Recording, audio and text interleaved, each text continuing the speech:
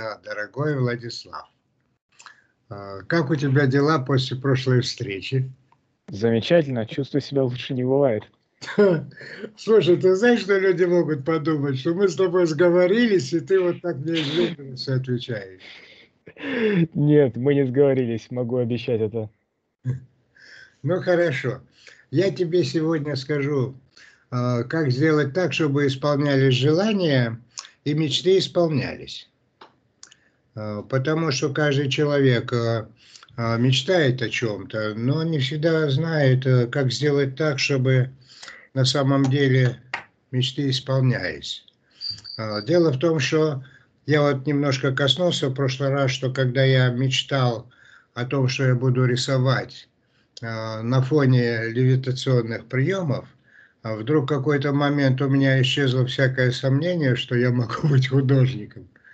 Да, то есть э, если человек делает а, сначала раскрепощение, ну, например, подбирает действия, которые ему подходят, там, а, потрясся немножко, снял зажимы, там, поделал там бой с тенью, там, или поплавал, подбирал те приемы, которые ему подходят, раскрепостился, а потом начинает делать левитационные движения, мечтая о желаемом. Ну, например, я мечтал, что я буду рисовать так, что все будут приходить и дивиться, как, какую я диво я создал. А потом ну, я вдруг почувствовал, что блок исчез. И стал рисовать, и первую выставку сделал через год.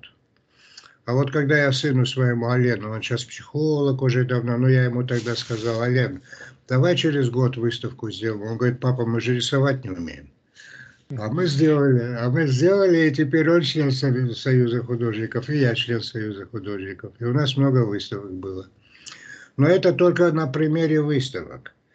А так можно же делать э, по любому направлению. Каждый человек имеет какие-то мечты. Поэтому еще раз повторяю, алгоритм такой. Сначала делаешь, ну, раскрепощаешься, снимаешь зажатости, зажимы, разгружаешься, как бы, потом делаешь левитационные приемы, и на этом фоне мечтаешь о желаемых переменах в себе и в будущем. Ну, у тебя же есть какие-то мечты. Вот ты вот э, сдашь экзамены, потом ты будешь э, чем-то заниматься. Ну, вот какие-то мечты есть же, да? Конечно. Там, там надо покруче. Надо дерзкие мечты. Надо поднимать планку цели так высоко, чтобы включались внутренние ресурсы. Потому что когда человек мечтает о маленьком, там энергия не нужна, она и не включается. Поэтому, делая левитационные приемы, ты просто берешь и начинаешь мечтать о желаемых переменах в себе и в будущем. Ну, так мечтаешь, как ты бы в душе мечтаешь, вот как ты в душе обычно мечтаешь. По-настоящему. И ты заметишь, э, что в какой-то момент у тебя пропадает сомнение, что ты этого можешь достичь.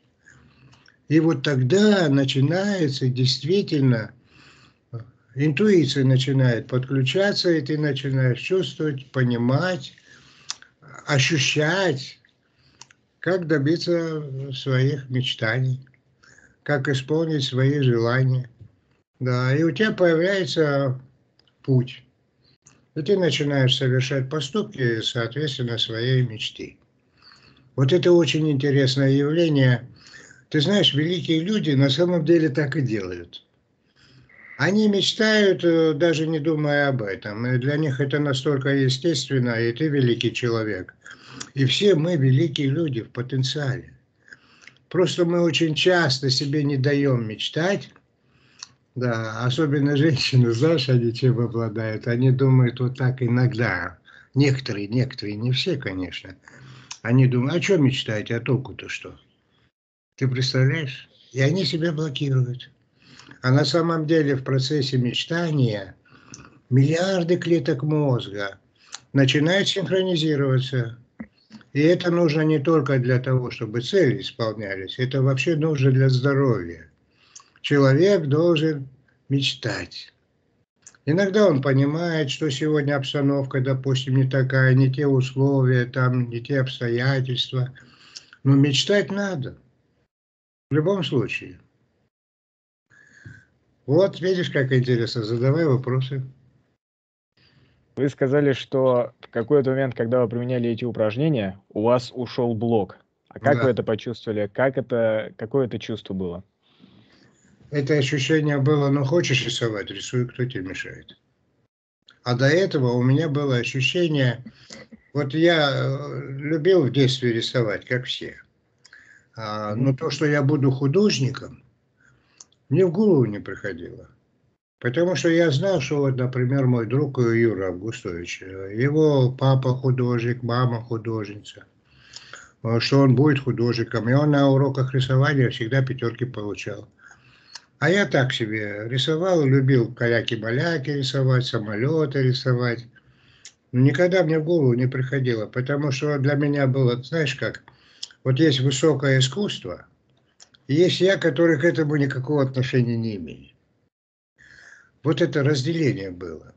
А когда я на фоне ключевых приемов левитационных размечтался, что могу рисовать и буду рисовать только шедевры, размечтался.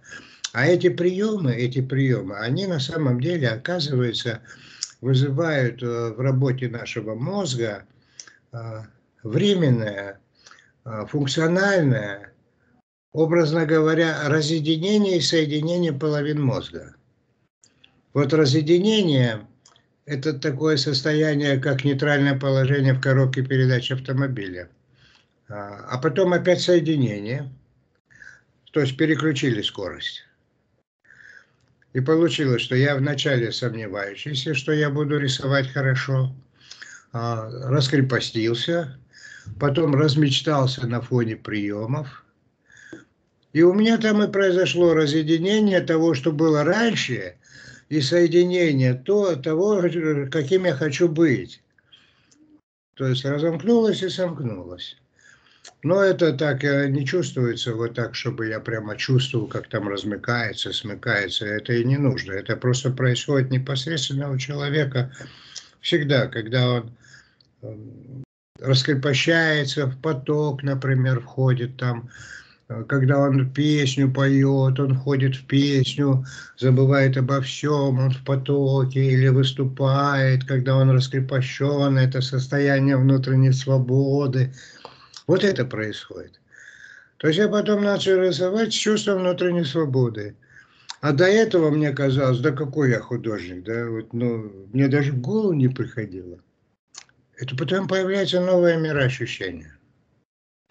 И вот очень много людей, я знаю, у них очень много талантов, очень много способностей, но эти таланты заперты.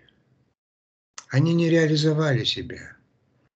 Потому что они не позволяли себе мечтать даже в этом направлении. И у них не было ключа. Ну, на самом деле ключ-то это то, что человек на самом деле инстинктивно делает.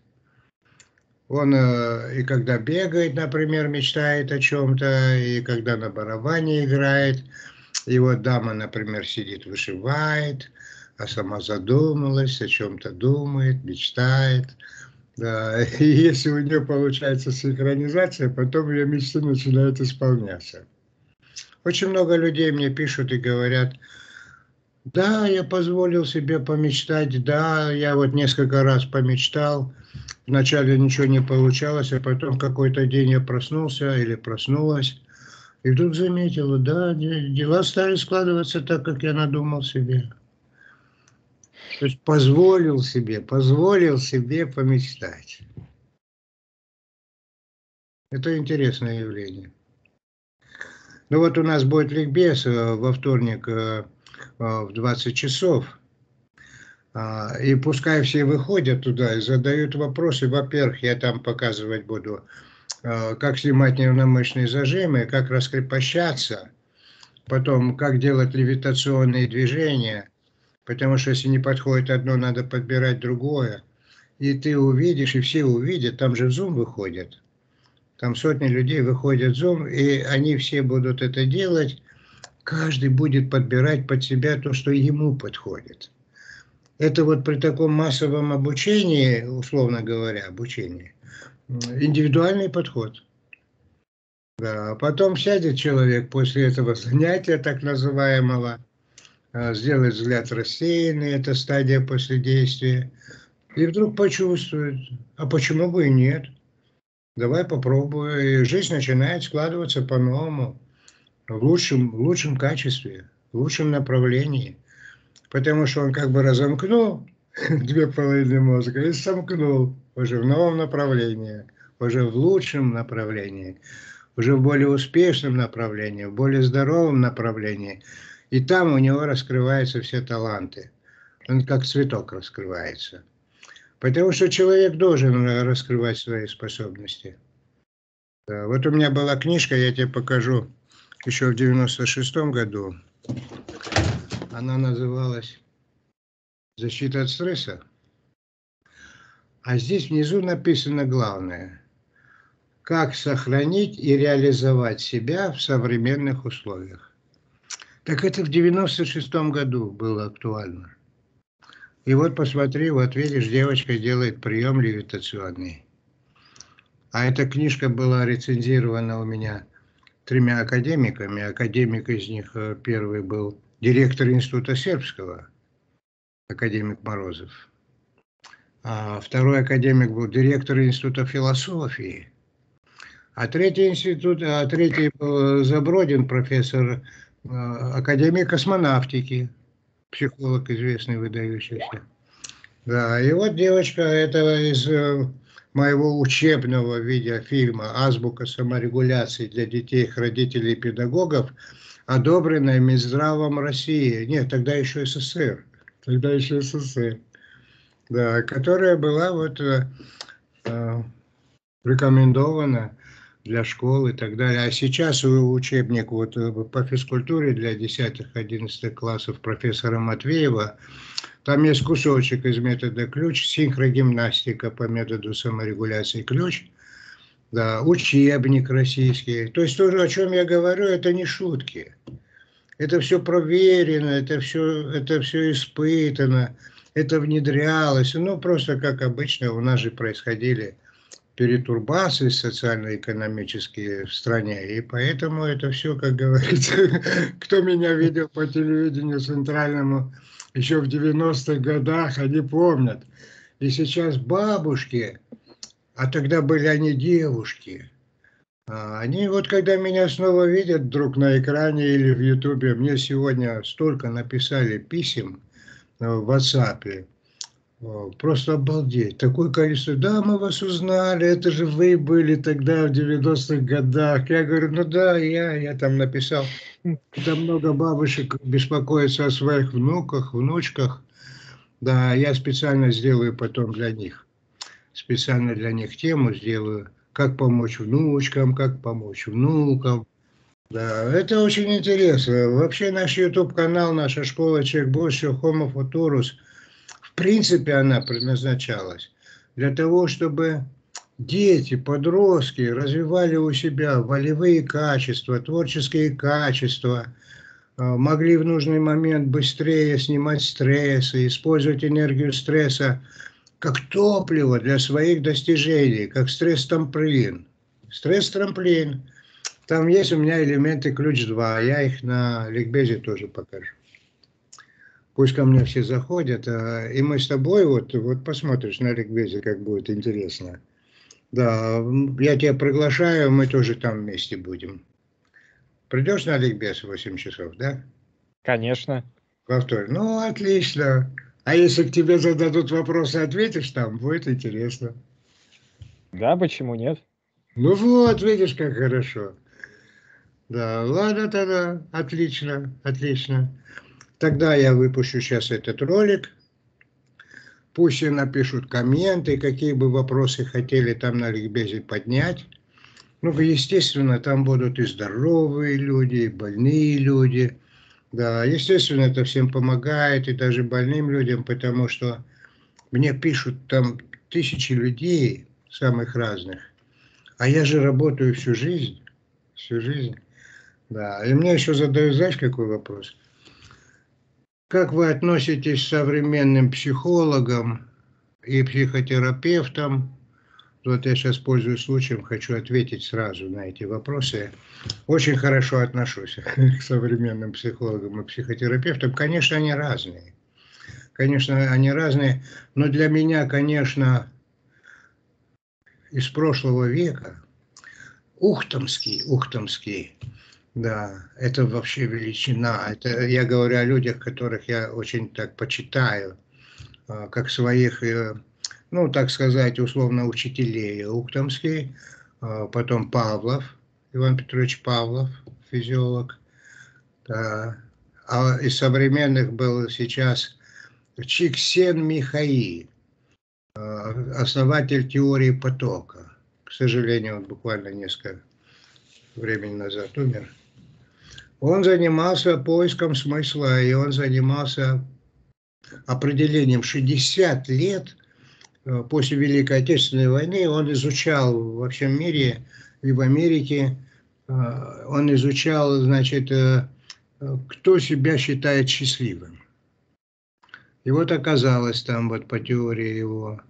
Вообще надо, чтобы все посмотрели в YouTube-канале, нашли бы Чиксенд Михаи, и посмотрели его выступление. Это профессор, выдающийся был в Америке, он венгр по происхождению.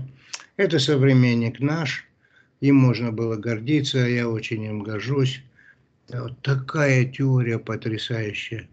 Да, но там как раз таки об исполнении мечты, конечно. И там сказано, что 30% людей, которые уже дожили до ситуации вот после войны великой, вот отечественной, ну у нас отечественная война, а там великая война, а, они, когда уже вышли из стадии выживания, а, стали на стадию жизни, а, то 30% из них считали себя счастливыми, потому что они занимались любимым делом. И вот когда они уже были обеспечены на завтрашний день, что у них было как жить, когда они начали, еще раз повторюсь, не выживать, а уже жить, то 30% из них, которые имели любимое дело и занимались любимым делом, считали себя счастливыми. Потому что когда они занимались любимым делом, они входили в такое состояние, когда им прямо природа помогала. Вот композитор там писал музыку, допустим, и музыка там прямо лилась, ему только оставалось записывать ноты. Это, ну, каждый, кто в спорте, там, а, кто в поэзии, ну, в любом любимом деле. Там кто-то, может быть, огород сажает, тоже любимое дело, да. Когда человек занимается любимым делом, чувствует себя счастливым. И поэтому они считали, что у них есть смысл в жизни. Это очень интересно. Я не могу в двух словах все это рассказать. Пускай все посмотрят там. Чиксен Михаил. А потом мне еще писали, как я отношусь э, к нашим современникам. Есть же академики. Да, есть много академиков. Там э, Черниговская, например, э, Курпатов, например, там психотерапевт. Ну, как я к ним отношусь? Вот есть люди, которым я очень серьезно отношусь. Есть люди, которых я просто, как говорится, наблюдаю, смотрю, чем они занимаются по интернету. Да, ну, ну так я к Черниговской, ну, с уважением отношусь и к Пату с уважением. Но я хочу сказать, что я нового там не увидел. А вот Чиксен Михаил действительно новое показал. Но есть еще такие люди.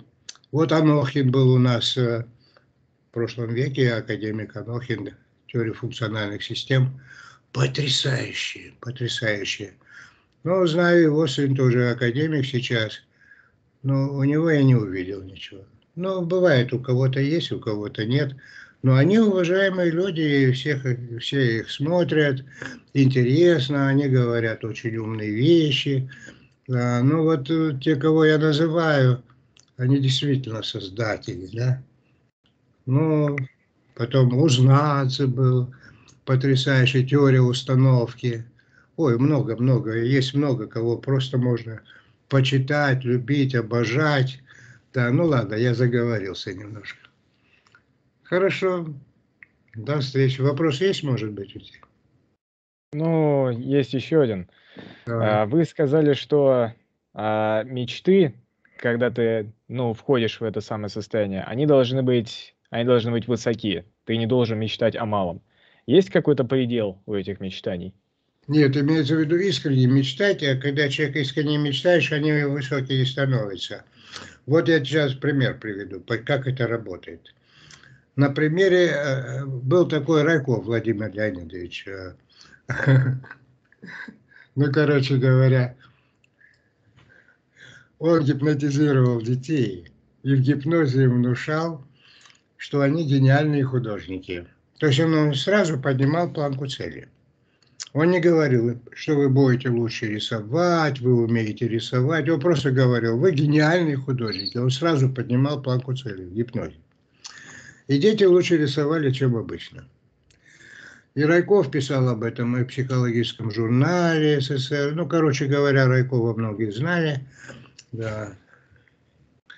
У меня с ним были некоторые такие трения, потому что он всегда ходил за мной после моих занятий, все это снимал на камеру, да. Потом звонил на телевидение и говорил, вы Алиева не показывайте. А там, значит, его спрашивают, это мне сказали там, а почему его не показываете? А, а, а он говорит, а это же я ключ придумал. А что же ты, говорит, Володя, нам раньше этого не говорил? Чувство гипнозом занимался. А ключ как раз для того, чтобы человек сам себя регулировал. Ну, у каждого человека бывает и свои ревности, там, ну, люди есть люди, да, вот. вот. Но на самом деле Райков э, дерзновенно додумался, додумался э, в гипнозе внушать э, э, именно сразу высокую планку цели. Вы гении, и они лучше рисовать. Э, другое дело, что надо было это делать без гипноза. Потому что я научился понимать, э, что то, что Райков делал в гипнозе, можно делать без всякого гипнотизера. Если человек раскрепощается, делает левитационные движения, он и выходит до этого состояния свободного сознания – которые Райков делал с помощью гипноза. Оказывается, любой человек это может без всякого гипнотизирования. Я понятно говорю? А, да. Пример, пример этот я привел, чтобы было ясно, что то, что можно сделать под гипнозом, любой человек может сделать без всякого гипноза. Ну, просто надо знать технику саморегуляции, науку саморегуляции, надо знать, как раскрепощаться, надо знать, как мечтать в этот момент, что мечтания надо сопровождать левитационными движениями, которые надо подбирать. Ну, надо знать алгоритмы. Этому мы учим в школе «Человек будущего» Homo Futurus. Поэтому я главное сказал, что то, что можно сделать с помощью гипноза, можно и без гипноза сделать. Это очень важно. Ну, поэтому, ну, вот, допустим, человек отвыкает от каких-то вредных зависимостей, ему раньше кодировку делали. Там, ему делали там какой-то или реальный укол, или плацебо-укол делали, и теперь он не будет пить, допустим. И вот под страхом смерти он не пил. На самом деле, это вот кодировка на самом деле была его невольной косвенной гипнотизацией. То есть он под этим внушением ходил и боялся выпить. Это один из вариантов кодировки, потому что она разная бывает. Я просто говорю вариант, который связан с внушением. То есть косвенное внушение может быть и такое. Ну ладно, мы сейчас много говорить не будем. Я могу в следующий раз тебе рассказать обо всем этом. Если у тебя еще вопросы будут, я тебе много-много чего могу рассказать, потому что я готовил Марс 500, а, потом я э, занимался выведением людей из э, а, критических ситуаций, из стрессовых ситуаций. Я обучал специалистов детских центров реабилитации по, по президентской программе «Дети России» еще в свое время. А, я много чего делал. Я готовил военных на войну, я готовил военных после войны, я восстанавливал военных. Я обучал психологов МЧС, психологов образования, психологов Минздрава. Ну, я по существу э, первый человек, который Беслане выводил из острого стресса детей и взрослых, потому что в остром стрессе раньше была такая идея, что такого человека в остром состоянии трогать не, нельзя. А он не слышит просто слова психотерапевта в этом состоянии, он в шоке. А я выводил и потом учил э, психологов э, МЧС, как это делать. Поэтому, поэтому я считаю, что опыт, который я могу тебе передать и передать э, всем, которые придут там на ликбез, исходя из своего опыта, я же и врач, и психолог, и художник, и писатель, то есть в разных областях. Именно почему? Потому что я позволял себе мечтать и применял вот эти раскрепощающие приемы, потому что я всю жизнь был зажатым человеком. В детстве я был очень зажатым.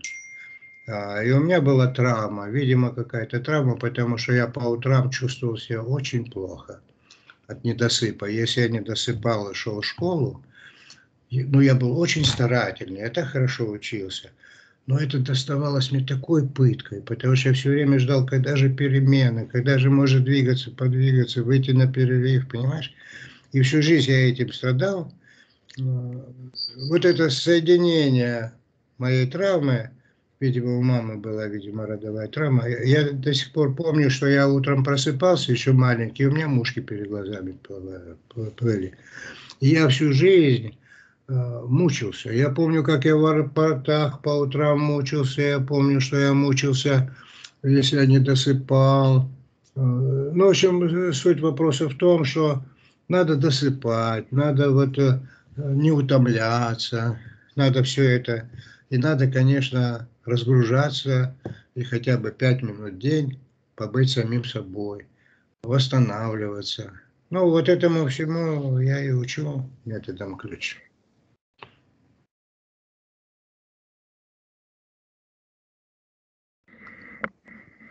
Вопросы есть? Нет, больше вопросов нет. Спасибо. Тогда до встречи. Давай. Да. Давай. До свидания. До встречи.